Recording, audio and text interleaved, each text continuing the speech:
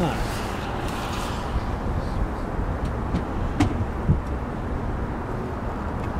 Oh, I'm afraid.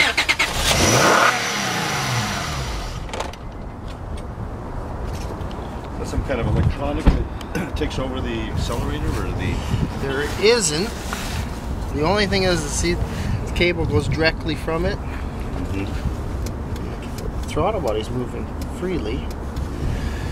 Because why would it just stick on? Like, like literally, it's like someone put a brick on it and it wouldn't It was stop. the scariest thing. Uh, Yeah. Like literally, like you see in a movie. If I, like I said, if I had been driving, like honestly, I have no clue.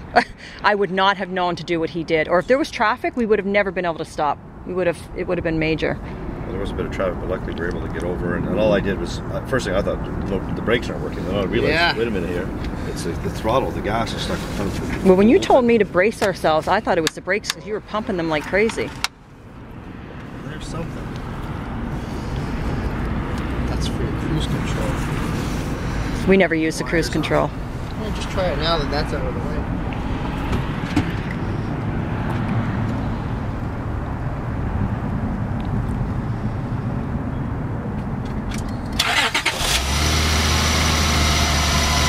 Oh my God.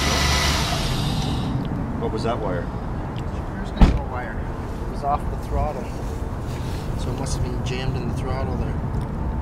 That's very odd. Wow. So what? I don't understand. How understand. would that happen though?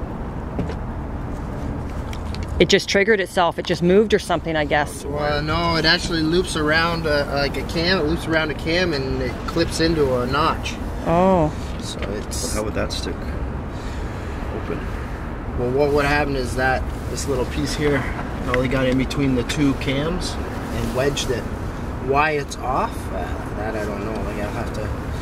So take we were that driving out. up the four. We were already driving. We were all in I the- did was go to pass a car. Yeah. Put So down the probably what accelerator happened and is boom. this was probably sitting in between, unplugged, right? Like it's supposed to go around the cam. There's two cams, right? They look like they kind of look like circles Yes. with a notch in them, right?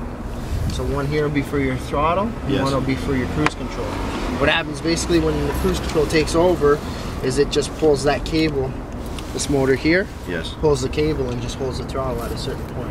So it got that comes stuck. loose. Which is the same, which this cable's come off and it's obviously wedged in between there. You went to pass and that piece must have got down, stuck it's underneath stuck. it. Oh, And it's holding the throttle body in a certain position. Now, so have you seen this happen before? I've never seen that happen before. That's why I'm looking, wondering why is that off. Yeah. Um, Wow. Because that's uh, there should be no reason for that a dangerous thing to be off obviously, at yeah. all, unless, like I say, unless somebody's done some throttle body work on this. Or Nobody's but I touched didn't it. see- yeah, No, I kinda nobody's looked touched You back guys in your basically- history and I yeah, didn't you guys see do anything, everything. So. You guys touched it. The only thing was, uh, was We did the brakes front with his- brakes yeah, with, uh, one place. company that does it, front brakes. with- Yeah, I kind of I glanced back through your history and I didn't see anything. 'cause that's And we was were my actually- worry she's was been- something wrong with the She's throttle been due to body. come in for the last couple of weeks for the. Uh, Yeah, we're due for our service normal overhaul. maintenance. Yeah, yeah, yeah.